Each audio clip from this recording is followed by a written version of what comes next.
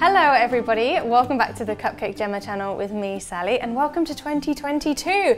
I hope that you guys had a lovely Christmas and you did get to have a little bit of a break as well and see some friends and family. It was a bit of a weird one. I spent it in isolation and Sam also spent it in isolation. So hopefully you guys did manage to have a lovely time.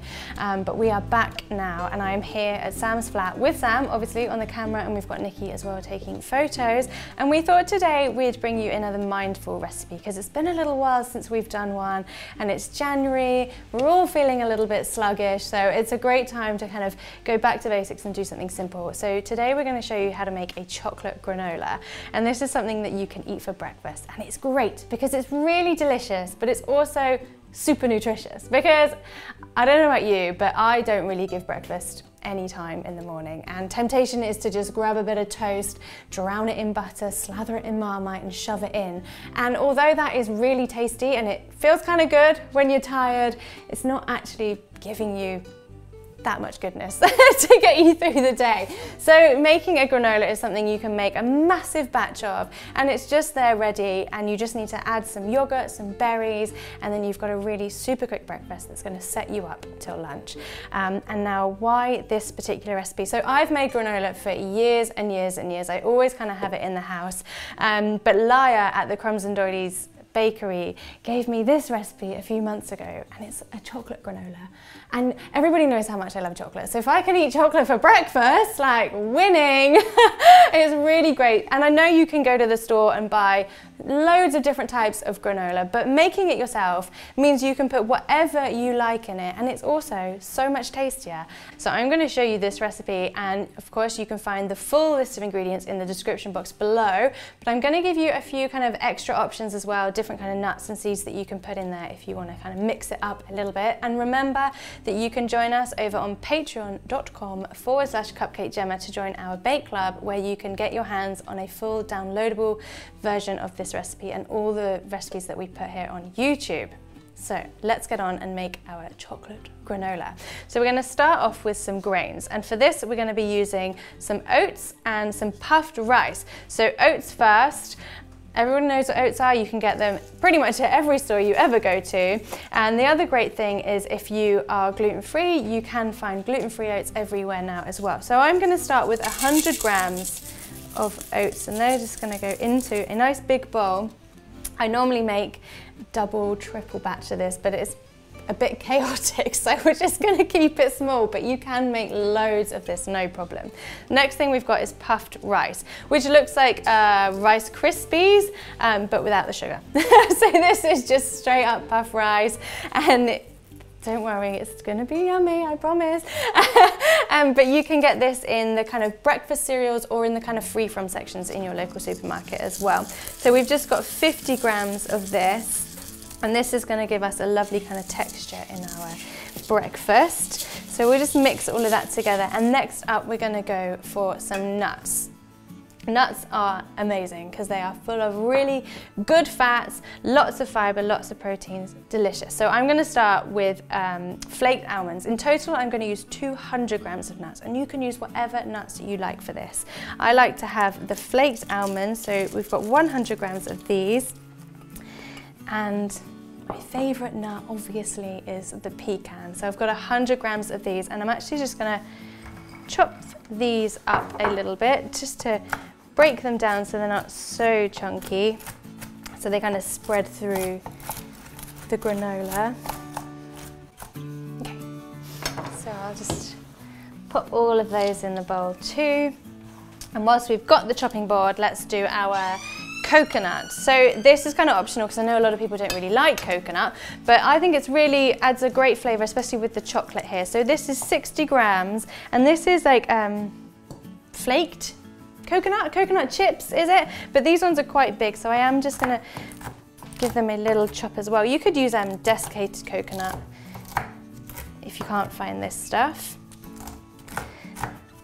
And it all like this is loads. This is like 60 grams, but it's absolutely heaps. So all of that's going in there. And lastly, we've got some seeds. Now seeds are amazing. Seeds are a superfood, obviously. I mean, not obviously, but seeds turn into plants and plants are pretty complex, right? So they are amazing. So in total, I've got 100 grams of seeds. And again, you can use any seeds you like. I've gone for a sunflower seed and a flax seed. I've gone half and half, so 50 grams of both.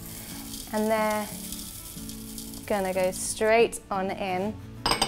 And before we stir this together, we're gonna add our cocoa powder. So this is our chocolate element. So it's not like actual chocolate, Cocoa powder is pretty good. It's got lots of kind of health benefits in it as well. So I've got two tablespoons of good quality cocoa powder and we're gonna chuck that over the top. Get my big spoon and we'll just start mixing this together.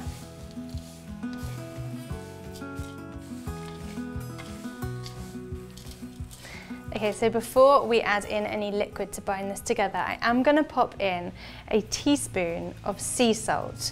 Now, I know that everyone thinks that salt is bad for you, but sea salt is no bad.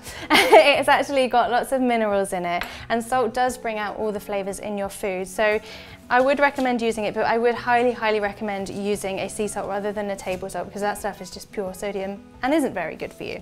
Anyway, salt lecture over. Let's get on with our liquid. So I'm using two liquids. I'm going to be using 100 grams of maple syrup so we'll pour all of that over. And before we get mixing, we're gonna add in some coconut oil. So I've got 100 grams of coconut oil that I just melted because when you buy coconut oil, it's kind of solid. Unless you live somewhere hot, it's probably runny. So again, 100 grams that I'm pouring over here. If you don't like the coconutty taste, I would say that you can't really taste much coconut from the coconut oil, but if you really don't like it, then you could just use another flavorless oil. And then on top of that, we're just gonna pop in some vanilla because vanilla makes everything better. So I'm actually gonna do two teaspoons of a good quality vanilla extract, which remember you can get your hands on. This one, I turn around, that you can get from cupcakejemma.com. It is the one that we've used at the Crumbs and Doilies Bakery for many, many, many years. And now it is time to just stir all of this together until all of our grains, our nuts and seeds are coated in liquid. Now that is looking pretty amazing. Mainly because it's got chocolate in it. so now it's just time to bake this. Um, it's going to take a little while. So I've got my oven set to 140 degrees C, so quite low, and we're going to bake it for somewhere between 30 and 45 minutes to really give time to all the oats and the seeds, give them time to kind of toast and crisp up. Mmm, yummy. So I've just got this massive baking sheet here. And like I said, if you want to make like a double batch, which I usually do, um, you just want a couple of baking trays, load it up, even if that means you have to bake one tray and then put the other one in afterwards. It's so worth it. So just spread it out. It doesn't need to be too thin because what we're going to do is set our timer for, I'm going to say 45 minutes, but after every kind of 10 to 15 minutes, I'm going to give it a little stir around, a little shuffle to make sure that all the grains are being kind of toasted evenly. So let's go into the oven with this.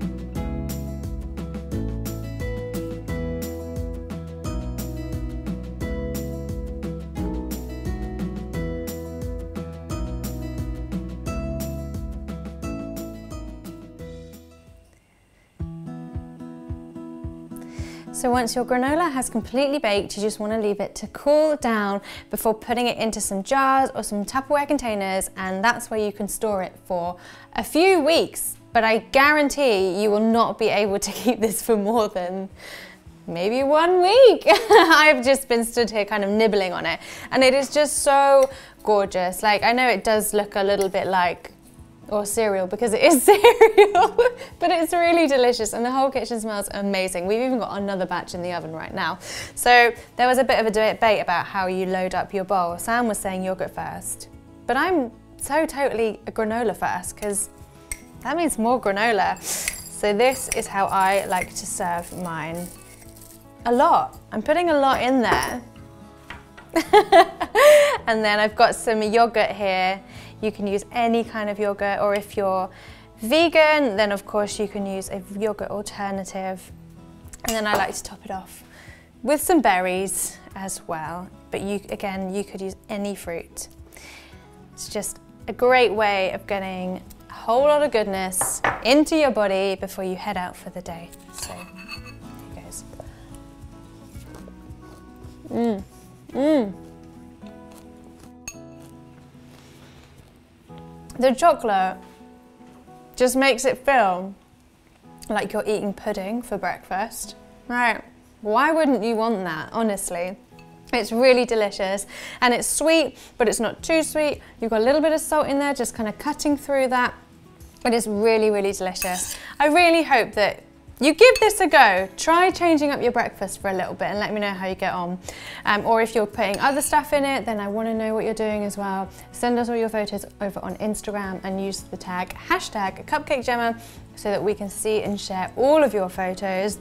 We really look forward to baking again with you this year. We've got loads of fun stuff coming up uh, for you guys, as well as working on that studio that we have just got our hands on and it is still currently empty, although we've got a beautiful pink sofa arriving this week. So it's just gonna be this amazing open space with a bright pink sofa in the middle. So you come and hang out with us there. You can find more about that over on Patreon. I'll put the links to that in the description box below. But we'll see you next week. I think it's Jemma. I think Jemma's gonna be here with you guys next week, so she'll see you then. Mm.